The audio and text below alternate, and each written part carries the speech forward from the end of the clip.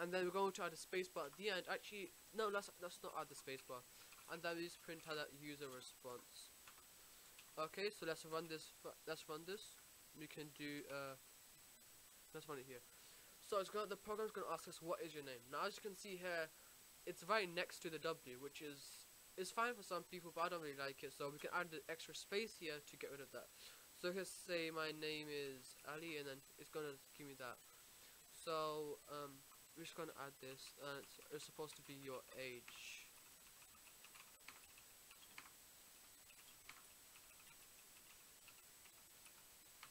Some, uh, okay.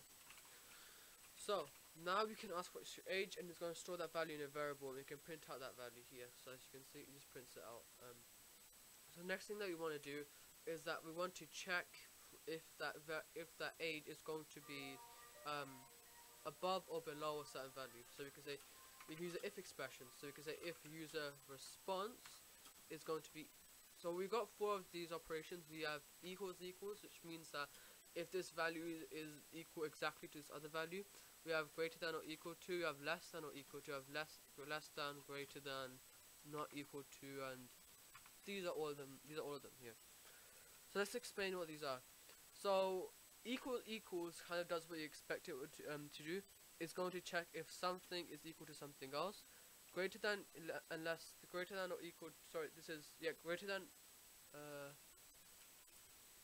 this should be. Uh, so yeah, this is um less than or equal to, I believe.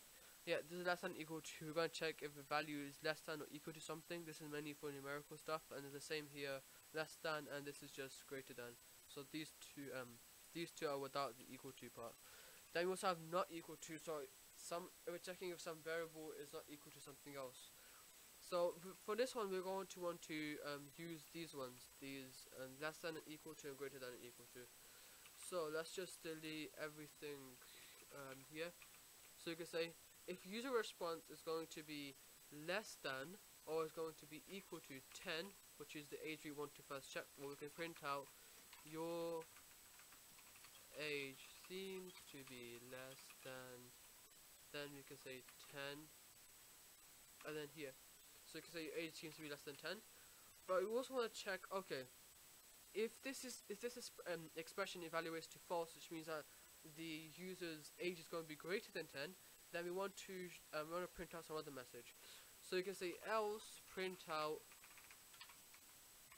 your age is greater than 10. So let's run this. We can do python main.py.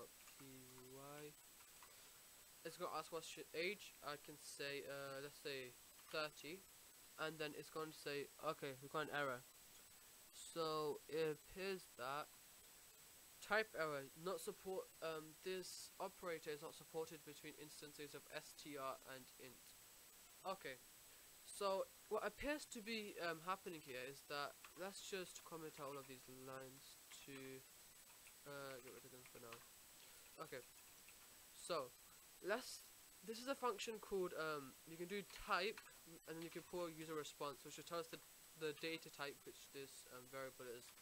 Let's run this script um this script again. Let's say 10, and it's going to uh, oh sorry I forgot to print it out.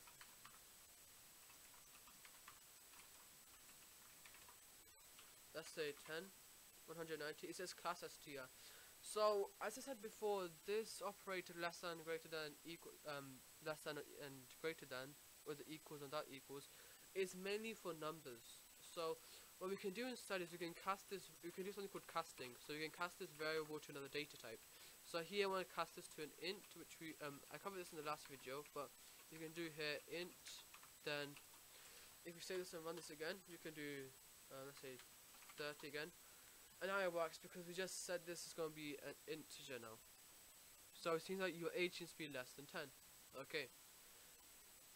Uh, let's say your age seems to be less than or equal to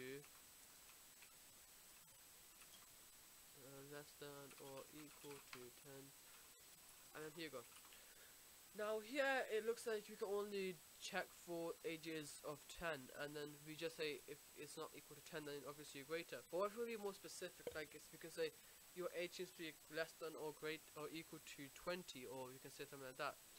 So we can use the elif statement. And remember the elif statement is only evaluated if this if statement above it is equal to false. So you can say if int user response actually no instead of just repeatedly doing this what we can say is is that um we are going to uh you can just put this here then we can say user response oops uh for some reason made well user response is equal to this which means that whenever we're referring to user response is going to turn into an integer first. So we can now do user uh, response and then can do the same here so can user is going to be let's say if user response is going to be greater than or equal to 20 you say your age seems to be greater than or equal to 20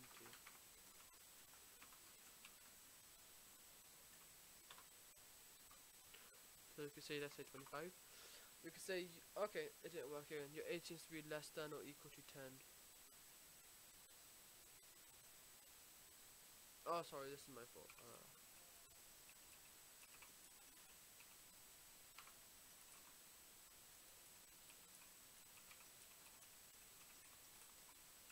let's see if it works. Uh, look, let's swap these around.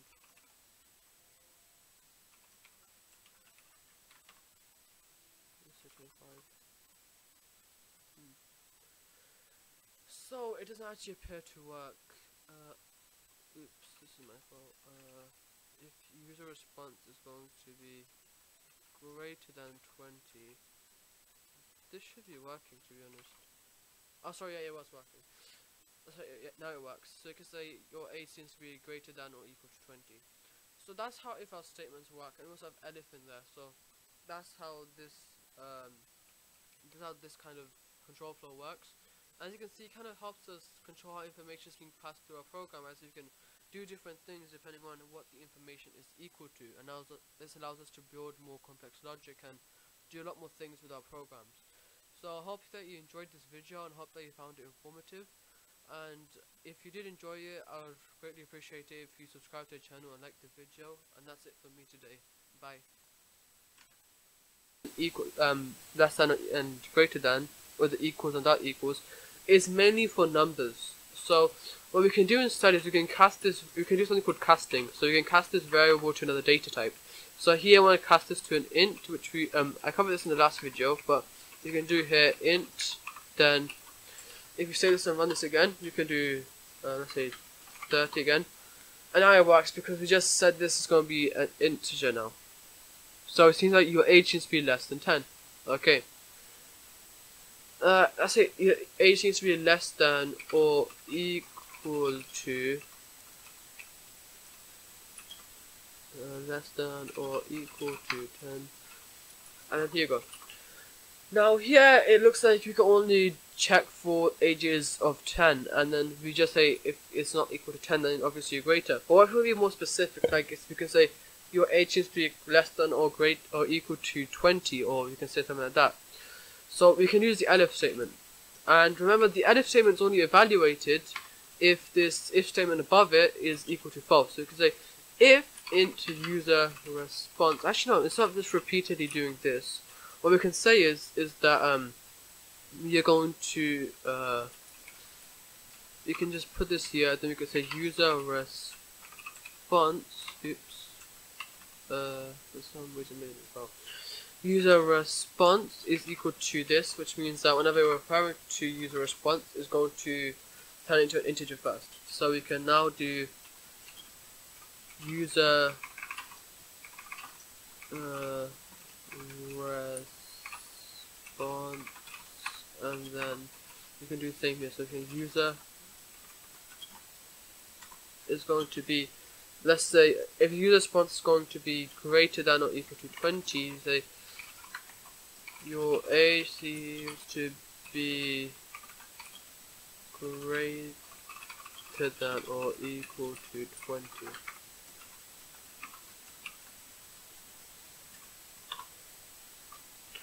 So you could say let's say 25. You could say, okay, it didn't work again. Your age needs to be less than or equal to 10. Oh, sorry, this is my fault. Uh,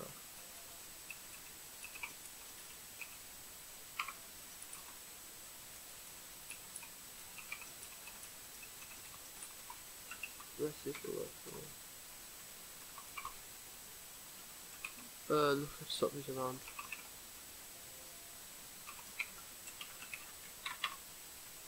Let's say 25. Hmm.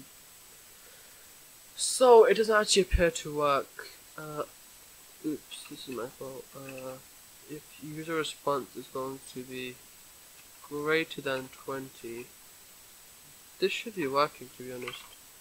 Oh, sorry, yeah, it was working. Sorry, yeah, now it works. So you can say your age seems to be greater than or equal to 20.